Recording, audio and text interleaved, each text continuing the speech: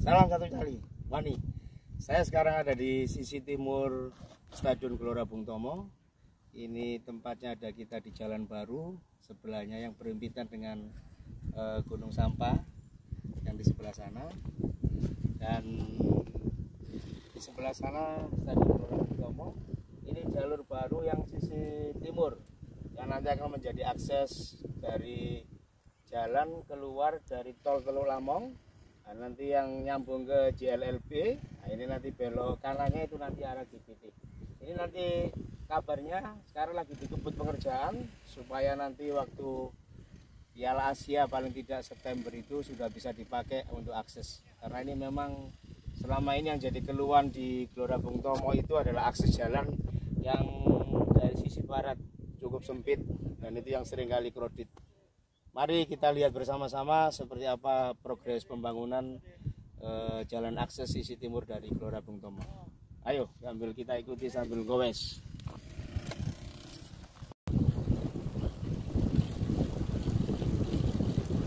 Sebelah kanan kiri masih tambak. Jadi ini akses akses jalannya cukup besar. Sekitar berapa meter ini ya? 10 meter mungkin ini. Lebar luasnya ini. Jadi nanti tim-tim tamu yang akan ke Stadion Gelora Bung Tomo kalau selama ini dia pakai bis kecil dua nah sekarang besok kalau akses ini sudah dibuka maka sudah bisa pakai bis besar. Langsung dia akan ke e, menuju ke Stadion Gelora Bung Tomo. Kita doakan semoga ini cepat selesai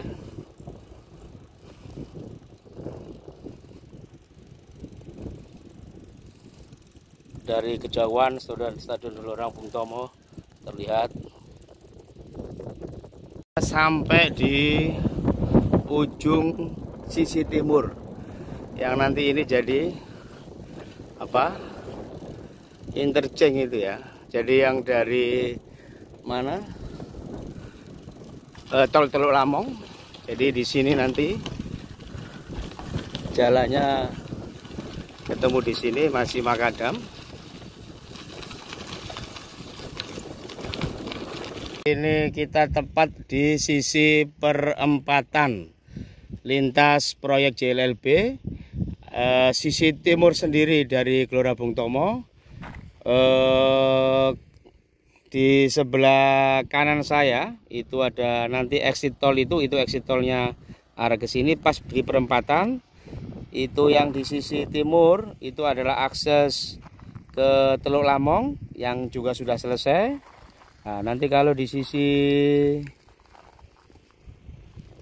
selatan ini langsung ke JLLB yang nanti ketemu di Polsek Benowo itu terus nanti akan terus sampai ke area Citralen sana itu.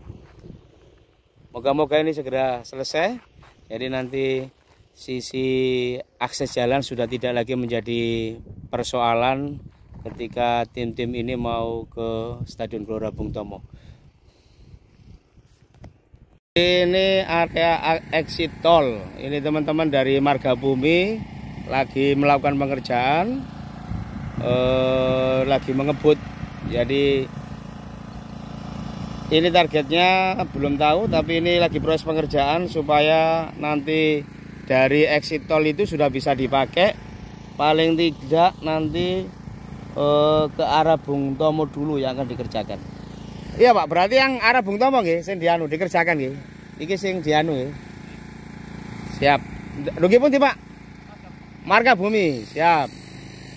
Kita ada di ujung di LLB ya, yang tadi jalannya kita lewati masih makadam, ini tumpukan-tumpukan vote.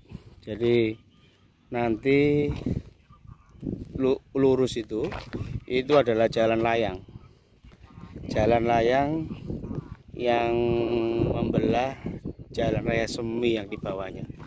Jadi nanti dari sana ini eh, masih hanya belum aktivitas pembangunannya belum berjalan. Jadi nanti jalan buntu ini masih buntu ya. Nah, nanti nah, lewat sana itu terus kalau lurus itu nanti eh, nyebrang ke area Citralen tidak ada pekerjaan. Mungkin ini hari libur ya. Ini yang jalur bawah. Nanti ini keluarnya nyambung ke jalan raya Sememi sebelah itu kampung.